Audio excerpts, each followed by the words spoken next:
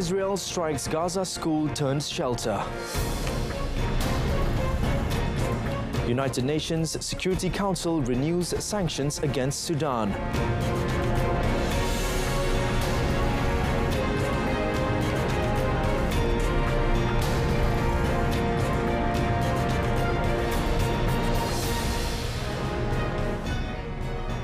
Good afternoon and salam Malaysia Madani. This is World Today and my name is Daryl Baptist. An Israeli airstrike hit a central Gaza school with the Civil Defense Agency reporting at least 18 people killed and many others injured in the facility turned displacement shelter. The UN Agency for Palestinian Refugees said six of its staff were killed in the attack. The Al Jawni school in Nuseirat, already hit several times during the war, was struck again yesterday, wounding numerous people. The fatalities included several women and children. About 5,000 displaced people were sheltering at the school when it was hit yesterday.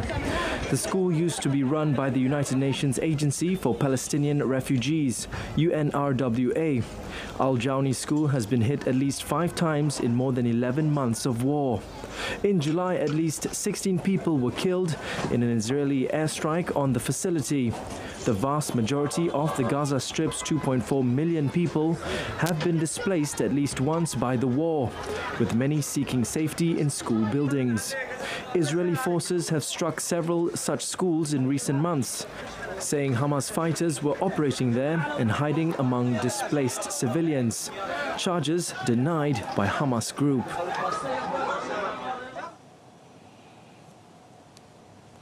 On a related note, UN Secretary General Antonio Guterres said a lack of accountability for the killing of United Nations staff and humanitarian aid workers in the Gaza Strip is totally unacceptable. Describing Israel's offensive against Hamas in Gaza, Guterres said there have been very dramatic violations of the international humanitarian law and the total absence of an effective protection of civilians.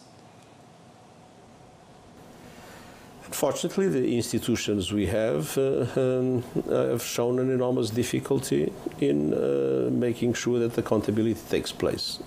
We have courts, uh, but we see that the decisions of courts are not respected, and uh, um, uh, it is this kind of limbo of accountability that is totally unacceptable. Nearly 300 humanitarian aid workers have been killed during the conflict.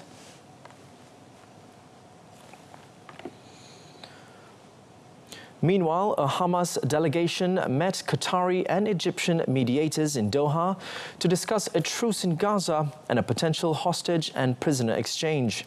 Hamas said its lead negotiator, Khalil al Haya, met with Qatar's Prime Minister Sheikh Mohammed Abdul Rahman Al Thani and Egypt's intelligence chief Abbas Kamel. Hamas said they discussed developments concerning the Palestinian cause and the aggression on the Gaza Strip without indicating that talks had resulted in a breakthrough. Recent rounds of mediation held in Doha and Cairo have been based on a framework laid out in May by US President Joe Biden and a bridging proposal presented to the parties in August. Hamas reiterated its readiness for the immediate implementation of the ceasefire agreement based on President Biden's declaration. It also restated its demand for Israel's withdrawal from all Gaza territories and had not placed any further demands on negotiators. Months of behind the scenes negotiations mediated by Qatar, Egypt, and the United States have failed to secure a halt to the fighting between Israel and Hamas, with the exception of a one week truce beginning in late November. North Korea has fired multiple short-range ballistic missiles into waters east of the Korean peninsula, days after the nuclear-armed North marked a state anniversary. South Korea's Joint Chief of Staff said it had detected multiple short-range ballistic missiles launched into the East Sea around 7:10 a.m. local time from Pyongyang. It said it was analyzing details of the launch and closely sharing information on the North Korean ballistic missiles with the US and Japanese authorities, while strengthening surveillance and vigilance in preparation for further launches. Japan's defense ministry also confirmed the launch of at least one suspected North Korean ballistic missile, with the Coast Guard warning vessels to be careful. It is Pyongyang's first apparent weapons test since 1st July and comes days after the isolated nuclear armed country marked a key anniversary celebrating the founding of the ruling regime. Defense Minister Datuk Sri Muhammad Khalid Nordin held a bilateral meeting with the United Arab Emirates, or UAE, Minister of State for Defense Affairs Muhammad Mubarak Fadli Al Mazraoui in Seoul, South Korea. The bilateral meeting was held on the sidelines of the Seoul Defense Dialogue. Datuk Sri Muhammad Khalid said the purpose of the bilateral meeting was to strengthen existing defense relations between Kuala Lumpur and Abu Dhabi. Among the matters that they discussed were ways to enhance military to military relations between Malaysia and the UAE. This is Datuk Sri Muhammad Khalid's first visit to South Korea since his appointment as Defense Minister on 12 December last year.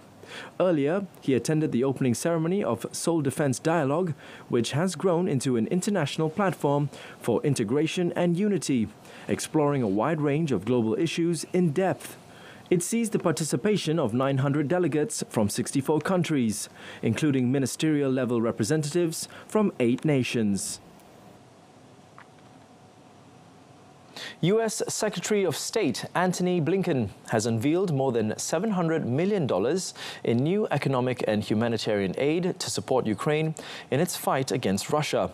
The State Department said the assistance will support Ukraine's energy infrastructure, provide vital humanitarian assistance for internally displaced persons, and support demining operations that are preventing civilian casualties, restoring civilian infrastructure, and facilitating the safe delivery of humanitarian aid. The package includes $325 million in energy sector assistance for Ukraine to repair Ukraine's power grid, which has been damaged by Russian attacks. Nearly $290 million will provide humanitarian support, including shelter, food, and winter supplies for displaced Ukrainians and refugees. An additional $102 million will be used for demining efforts, helping to clear landmines and unexploded ordnance left by Russian forces. The International Monetary Fund, also known as IMF, has reached an agreement with Ukraine on an aid program review that could open the door to $1.1 billion for the war battered country. A staff level agreement on the fifth review of the four year extended fund facility agreement, subject to approval by the IMF Executive Board, would clear the way for Ukraine to access the money. It would raise to $8.7 billion the amount of funds dispersed so far to Ukraine as part of an IMF program tallying about $15.6 billion. IMF team leader Gavin Gray said Russia's war in Ukraine continues to have a devastating impact on the country and its people. Gray noted that an economic slowdown is expected in Ukraine due to repeated attacks on its energy infrastructure and the effect of the war on labor markets and overall confidence. But growth should be about 3% for this year. Inflation is expected to rise to about 9% by the end of 2024, with risks to the financial outlook considered high. Ukraine's economy has been decimated by Russia's invasion, and the government is reliant on international aid to help it fund both its military and day to day governing spending. The United Nations Security Council has voted unanimously on a draft resolution renewing the Sudan sanctions regime for 12 more months. It includes an extension of an arms embargo on Sudan's Darfur region for another year, after experts said it had been regularly violated amid the ongoing civil war. The Council extended until 12 September next year the sanctions regime in place since 2005, which is aimed solely at Darfur. This includes individual sanctions, asset freezes, and a travel ban on three people, as well as an arms embargo. Renewing the sanctions measures will restrict the movement of arms into Darfur and sanction individuals and entities contributing to or complicit in destabilizing activities in Sudan. All of this is critical to helping end the escalating conflict, alleviate the humanitarian catastrophe, and put Sudan back on the path to stability and security. In their annual report published in January, experts charged by the Council with monitoring the sanctions regime said the arms embargo had been violated multiple times. They pointed the finger at several countries which had been accused of sending arms to the rapid support forces. More than 16 months of war between rival Sudanese generals has killed tens of thousands of people and triggered what the United Nations calls the world's worst internal displacement crisis.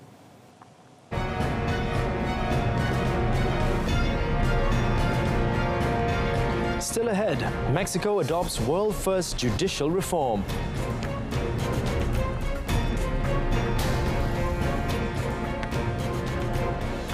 Lawmakers in Mexico have approved a controversial reform that will make it the first country to allow voters to elect all judges. This is hours after protesters invaded the Senate to disrupt the debate. The judicial reform was approved by 86 votes to 41 in the Senate, garnering the two thirds majority needed to amend the Constitution in an upper chamber dominated by the ruling coalition.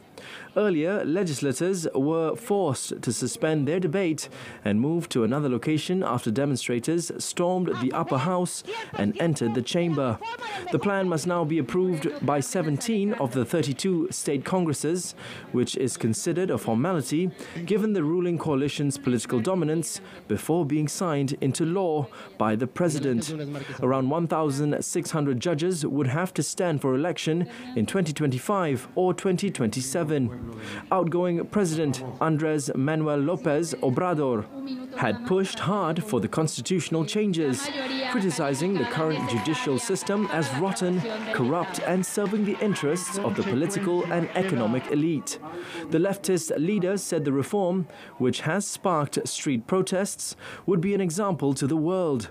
He said Mexico will make great progress when it is the citizens who freely elect the judges, the magistrates, and the justices.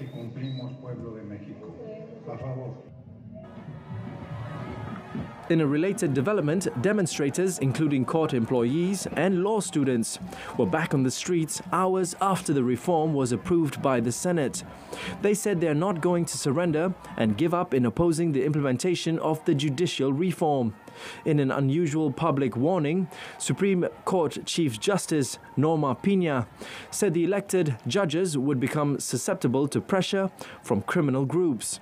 In a country where powerful drug cartels regularly use bribery and intimidation to influence officials, the United States, Mexico's main trading partner, had warned that the reform would threaten a relationship that relies on investor confidence in the Mexican legal framework. Human Rights Watch, meanwhile, said the reform would seriously undermine judicial independence and contravene international human rights standards. Argentina's Congress upheld President Javier Milei's veto of a bill to increase pensions, which sparked clashes outside parliament. Thousands gathered to protest Milei's veto, with police firing pepper spray and rubber bullets at one group, including pensioners who angrily broke down a barrier after the vote. Several pensioners were among those who clashed with police or were detained. Milei last week blocked an 8.1% pension increase, initially approved by both houses of Congress, which aimed to help cushion retirees in the South American country. Hit by annual inflation of almost 240%. The president claimed the measure was manifestly in violation of the current legal framework as it does not consider the fiscal impact of the measure nor determine the source of its financing. Overturning the veto would have required the votes of two thirds of the members of both houses of parliament. After a bitter debate that lasted more than four hours, Milei prevailed with 153 members voting against the veto, 87 in favor, and 8 abstentions. The minimum pension in Argentina is equivalent to 230 US dollars per month. Former Peruvian President Alberto Fujimori died yesterday at the age of 86 in the capital, Lima. His daughter Keiko Fujimori confirmed the matter on social media platform X. Fujimori, the son of Japanese immigrants, was the little known chancellor of a farming university when elected to office in 1990. He quickly established himself as a politician whose hands on style produced results, even as he angered critics for concentrating power. He slayed the hyperinflation that had thrown millions of Peruvians out of work, privatized dozens of state run companies, and slashed trade tariffs. In 2000, facing mounting allegations of widespread corruption, crimes against humanity, and human rights abuses in his government, Fujimori fled to Japan after 10 years in power. In an attempt to return to Peru in 2005, he was detained and later convicted in 2009 and sentenced to 25 years in prison. He was released from prison on humanitarian grounds in December last year.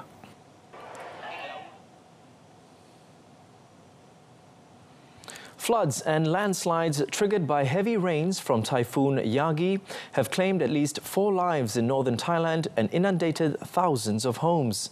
The government has mobilized the army to help the affected families.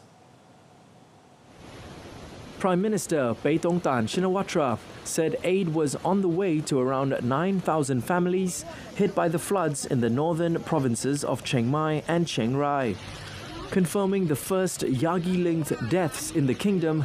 The Disaster Prevention and Mitigation Department said two people were killed in a landslide in Chiang Mai province and two more in Chiang Rai, which borders Myanmar. The health ministry said they had deployed medical staff, volunteers, and rescue workers to migrate elder people to safer places. The Thai Meteorological Department also warned that more heavy rains were expected until next Tuesday bringing the risk of fresh flash floods. While Thailand experiences annual monsoon rains, man made climate change is causing more intense weather patterns that can make destructive floods more likely.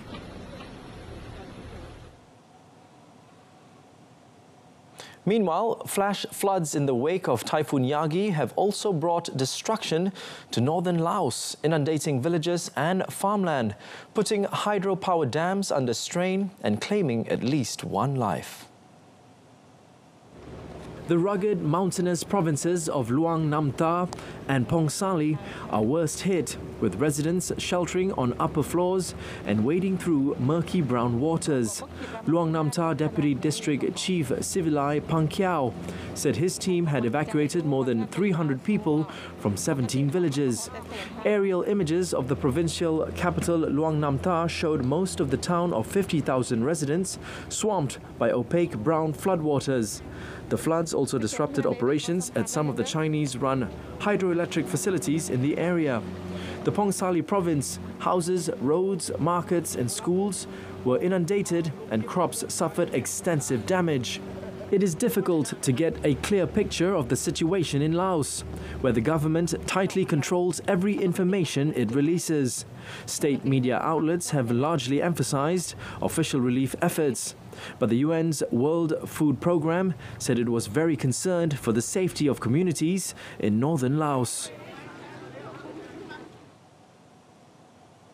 Elsewhere, at least 324 people are reported dead or missing due to the landslide and flash floods triggered by Typhoon Yagi in Vietnam.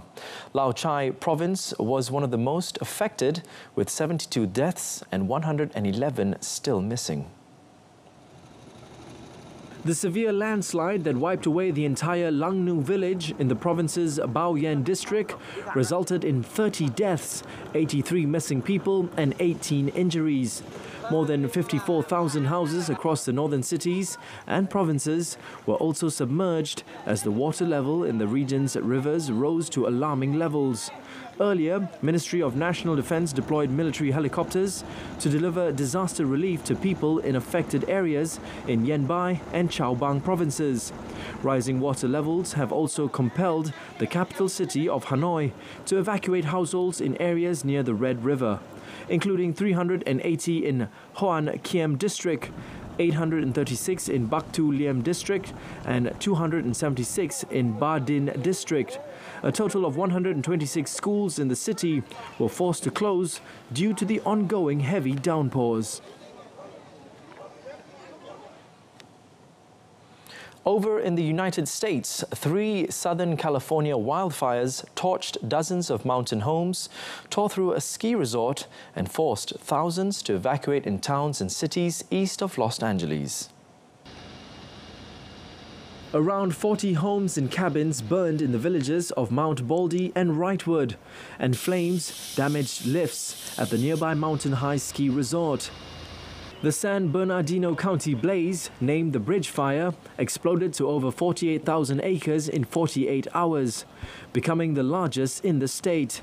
People taped gaps around their doors and schools closed in at least 10 districts because of smoky air from another blaze in San Bernardino County, namely the Line Fire. The county sheriff's office arrested a 34-year-old man for allegedly starting the blaze on 5th September. Around 18,000 people have been ordered to evacuate homes in San Bernardino County neighborhoods. Meanwhile, the airport fire in Orange and Riverside counties destroyed dozens of homes in El Cariso village and Decker Canyon as it grew to over 22,000 acres. Governor Gavin Newsom declared a state of emergency and said he had secured federal funds to fight the fires. By yesterday afternoon, the three fires had blackened over 105,000 acres of scrub, brush, and forest, an area a third the size of Los Angeles. Meanwhile, firefighters, police, and the armed forces were mobilized to Bolivia's soy producing Santa Cruz region to combat relentless wildfires that have ravaged farmland for weeks. Bolivia is bracing for a potentially record breaking year of wildfires driven by drought and land clearances tied to expanding cattle and grain production. Although the fires have been burning for weeks, smoke in cities like Santa Cruz and Cochabamba has worsened recently, causing some of the highest air pollution levels globally. The fires have forced school closures and disrupted commercial flights. President Luis Arce has called for international aid, vowing that the government will not stop until the blazes are extinguished.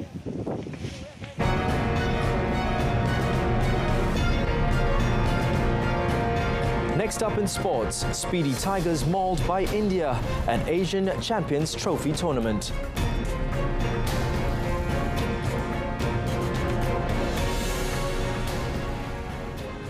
Starting off our sports segment this afternoon, Malaysia's task to qualify for the semi-finals of the 2024 Asian Champions Trophy Hockey Tournament has become more daunting after suffering a humiliating 8-1 hammering from India in Hulunbuir, China. Having drawn 2 all with Pakistan on Monday and lost 4 2 to China on Tuesday, the Speedy Tigers are rooted to the bottom of the six team standings with one point and must beat Japan and South Korea in the round robin format if they are to realize their semi final target. Raj Kumar Pal was in inspirational form as he notched a hat-trick with field goals in the 3rd, 25th and 33rd minutes, while Araijeet Singh helped himself to a brace of field goals in the 6th and 39th minutes as Jugraj Singh, Harmanpreet Singh and Udham Singh chipped in with one apiece. Muhammad Akhimullah Anuar Esook scored a consolation goal for Malaysia in the 34th minute. Speedy Tigers head coach Sarjit Singh said India were much better in every aspect and admitted the Speedy Tigers' performance was disappointing. India, coached by Craig Fulton, topped the standings with nine points from three matches, followed by Pakistan, China, South Korea, Japan, and Malaysia. In football news, South Korean soccer player Son Jun-ho has denied allegations that he had taken part in match fixing and bribery when he played in China and said he had given a false confession as he was under duress. The Chinese Football Association banned 38 players, including Son, and five officials for life after a two-year investigation into match fixing and gambling as part of a crackdown on corruption. The midfielder who has lost his spot in the South Korean side since the scandal broke was released and returned home in March this year after nearly 10 months in detention in China. He had agreed not to talk about his experience during detention as a condition for his release, but decided to speak up because he was shocked to find his name in China's announcement of the ban. Son, who has now signed up with Korean Football Association club Suwon, said he hoped to continue his career. On to transfer news. Dutch striker Memphis Depay arrived in Brazil and was greeted by Corinthians fans after he signed a two-year contract with the club. Terms of the deal were not announced, but local media reported the contract would be worth 12.54 million US dollars.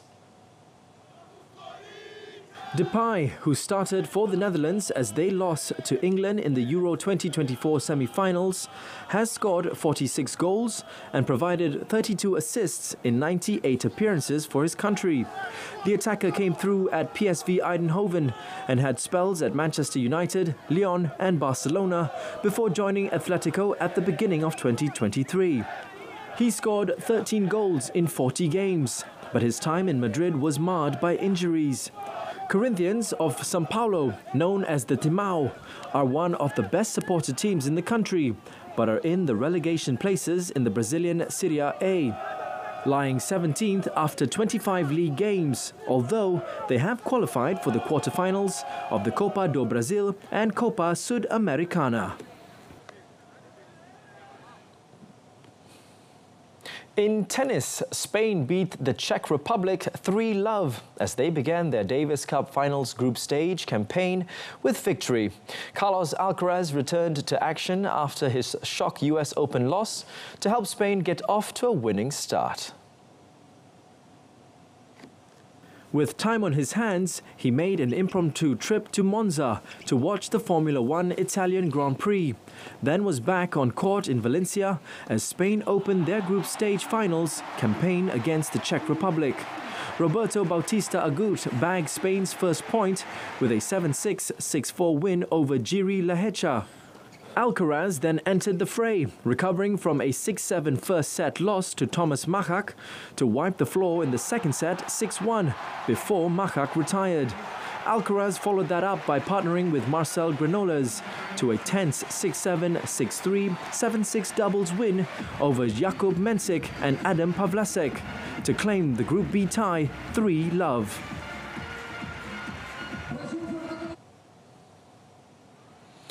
And that wraps up World Today. In our top story, Israel strikes Gaza school turned shelter. Tune in to Malaysia Tonight, coming up at 8.30 p.m. on TV1 and Saluran Berita RTM. Till then, I'm Darrell Baptist, Malaysia Madani, Jiwa Merdeka. Thank you for watching. Goodbye.